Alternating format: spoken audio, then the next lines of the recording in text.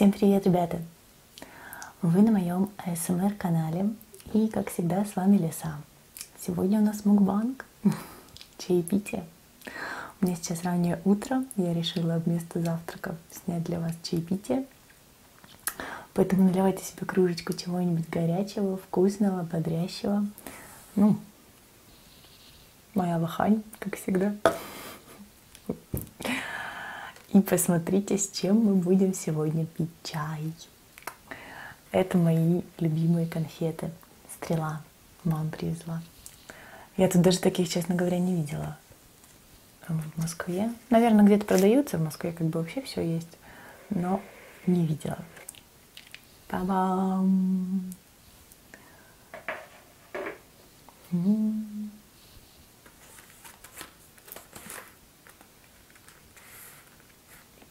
Какая красота. Ну, давайте попробуем.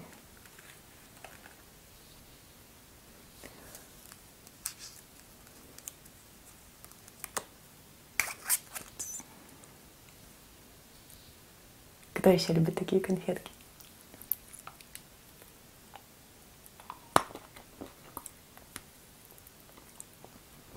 М-м.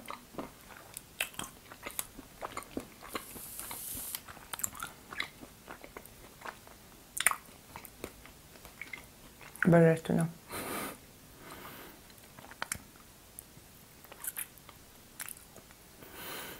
Там внутри такой типа кофейно-коньячный крем. Очень вкусно.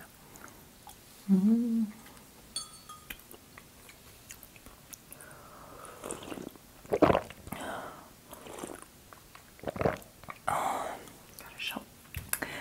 И тут у меня просто немножко всяких разных тоже украинских конфеток. Красный мак. Красный по-украински будет червоный. Червоный мак. А коровка. Это очень крутая конфета. Покажу вам потом. Ромашка и какая-то вообще не без опознавательных знаков. Не знаю. О чем мы будем сегодня с вами говорить? Как думаете? Ну, поскольку у нас такие конфетки родом из детства, я решила, что будет актуально, если мы поговорим о детстве, о всяких смешных детских проделках, забавных случаях и тому подобное. Давайте договоримся, что вы в комментариях под этим видео обязательно мне напишите в ответ, что с вами смешного случалось в детстве. Какие-нибудь короткие забавные истории, мне будет очень приятно это почитать, ребята.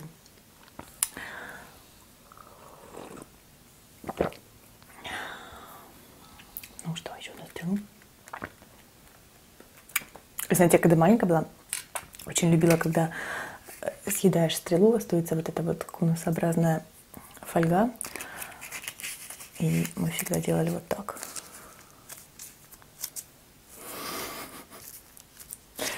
На каждый палец. И потом бегать и кого-нибудь царапать. Да. Годы идут, леса не меняется. Ну так вот. Даже не знаю, о чем вам сначала рассказать. Вообще была таким довольно правильным ребенком, спокойным. Как моя воспитательница в детском саду говорила, вот, наконец-то лесу привели. Ну, после того, как я болела, например, не ходила там почему-то в садик. Наконец-то, говорит, привели, а то не было некому нас было жизни учить. Но, тем не менее, забавные истории, мне кажется, случались с каждым человеком в детстве.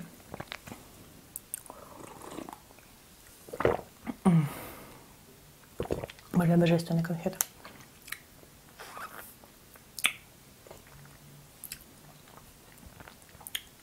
Первое.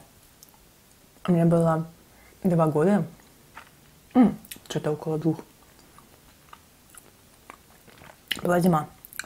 Мама сидела со мной в декрете дома, естественно. И она выскочила на балкон за картошкой. В одном халатике.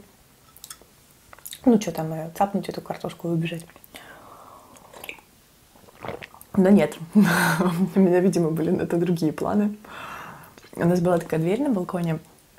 Э, знаете, еще старые вот эти э, советские такие рамы со шпингалетами по всей длине. То есть один наверху, один посерединке двери и один самый маленький внизу. Для меня до сих пор загадка, зачем вообще нужны были эти шпингалеты в самом низу. Наверное, чтобы собачка могла дверь открыть. Не, не знаю, зачем. В общем, когда мама выскочила на балкон за картошкой, я доковыляла до двери, а дверь была уже так прикрыта, и повернула просто этот нижний шпингалетик. Закрыла, короче говоря, маму на балконе в халатике 10-градусный мороз. Ну, она сначала попыталась как бы так дверь просто открыть. Думала, может, этот шпингалет сейчас там вылетит у меня. Закрыла на совесть. Ну, тогда мама начала мне из-за двери, с балкона просить, что лисичка, поверни, по... не, она мне говорила, покрути, пожалуйста, ручку. Ну, вот этот шпингалетик, чтобы я покрутила. А я ей в ответ вот так вот показывала фонарики, фонарики. Мы просто разучивали такую смешную песенку, типа фонарики, фонарики, чего-то там какие-то шарики. Ну, в общем, она мне покрути ручку, и я ей ручкой накручу. Уже страшный человек. В итоге, ну, мама отчаялась от меня добиться каких-то вменяемых действий. Ну, два года что я там могла понимать? Хорошо, что у нас э, такая планировка была. В общем, соседский балкон прям вплотную примыкал к нашему. И хорошо, что э, соседи любили очень свежий воздух и открывали дверь, видимо, там у себя в комнату балконную, чтобы проветривать. И мама каким-то образом, короче, до них достучалась, дозвалась. А в общем, они передали из окна в окно молоточек. Мама разбила оконное стекло и вылезла с балкона. Ну, открыла дверь, просунула руку, открыла дверь и вылезла. Вот так вот освободилась из балконного плена. Коровку давайте съедим. Боже, как я люблю коровку. Особенно, когда она такая внутри, знаете, жиденькая.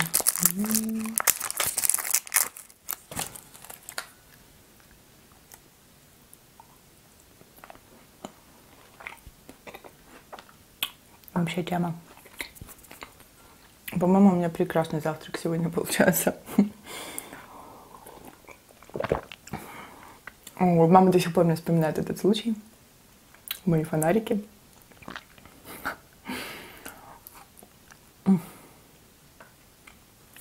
Ну, о том, как я танцевала в садике стриптиз, я уже рассказывала, да?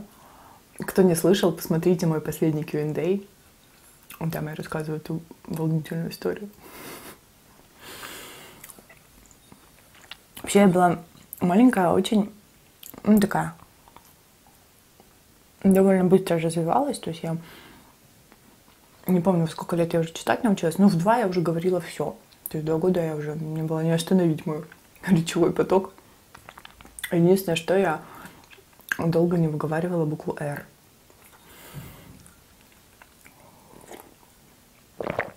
было любимое стихотворение про Эболита. Знала его практически наизусть. А может и наизусть. В общем, там был такой один эпичный момент в стихотворении с высокой скалы, или горы, скалы, скалы. И с высокой скалы к Айболиту спустились орлы. Когда я рассказывала этот стишочек, а я так патетично остановилась, И в моей интерпретации это звучало так. И с высокой скалы к Айболиту спустились аллы. Аллы.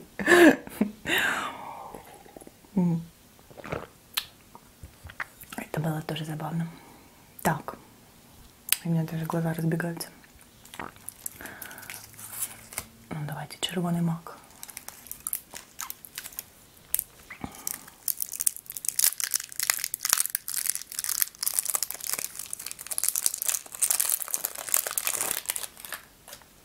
Шоколадная.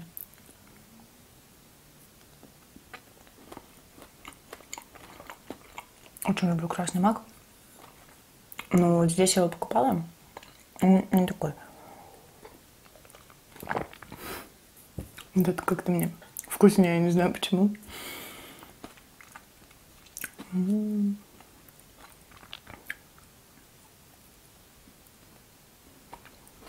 Напишите мне в комментариях, Какие ваши любимые конфетки?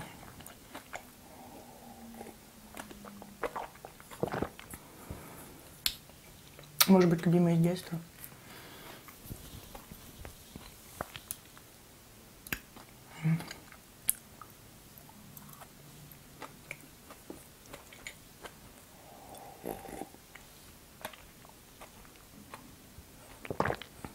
Еще одна забавная история, связанная с моими волосами. Когда я была маленькая, у меня были довольно-таки длинные, красивые волосы. Ну, они у меня сейчас где-то вот такой. А тогда, ну, где-то вот так у меня были волосы. Очень были такие красивые. Были, да. В общем, мне было что-то около пяти, наверное, лет. Пять, да, пять. В школу как раз собиралась идти уже.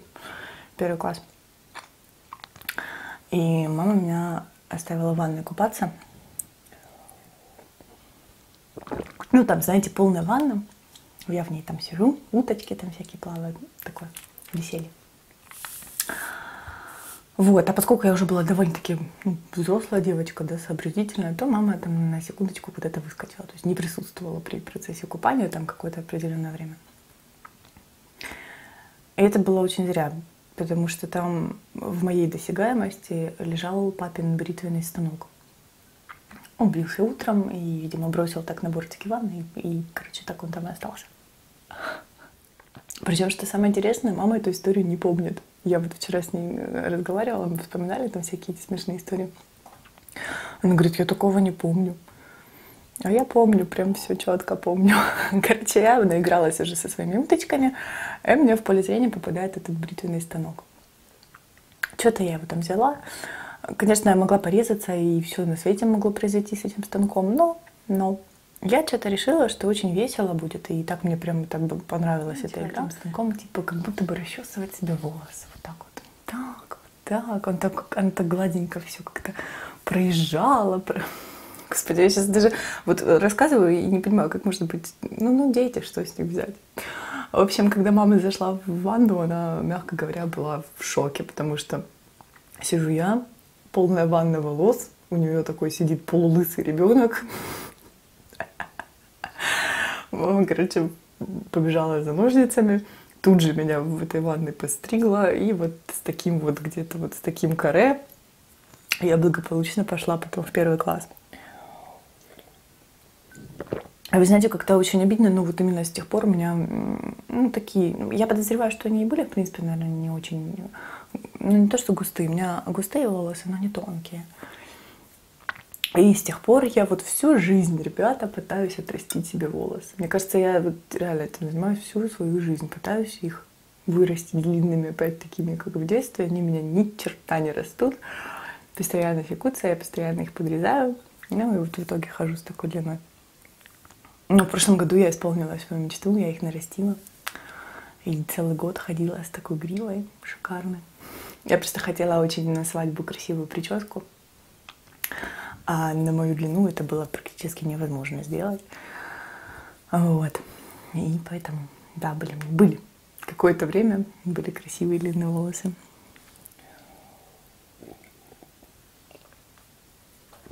Ну что, я уже допила чай наелась конфет. На самом деле, что-то я когда даже не так уж и много съела, но они такие, знаете, сладкие. Прям конфеты-конфеты. Пишите мне обязательно в комментах про свои смешные истории с детства, о своих любимых конфетках и вообще о чем-нибудь таком милом и семейном. Я надеюсь, вам понравилось сегодняшнее чаепитие. Оно, скорее всего, получилось недолгим, но как раз на то, чтобы время на то, чтобы выпить чашечку чая. Если вам понравилось это видео, не забудьте поддержать меня лайками. Мне это очень важно. Пишите комментарии, я всегда их читаю. По мере возможности стараюсь вам всегда отвечать. Ну что, ребята, всем хорошего дня. Пока-пока.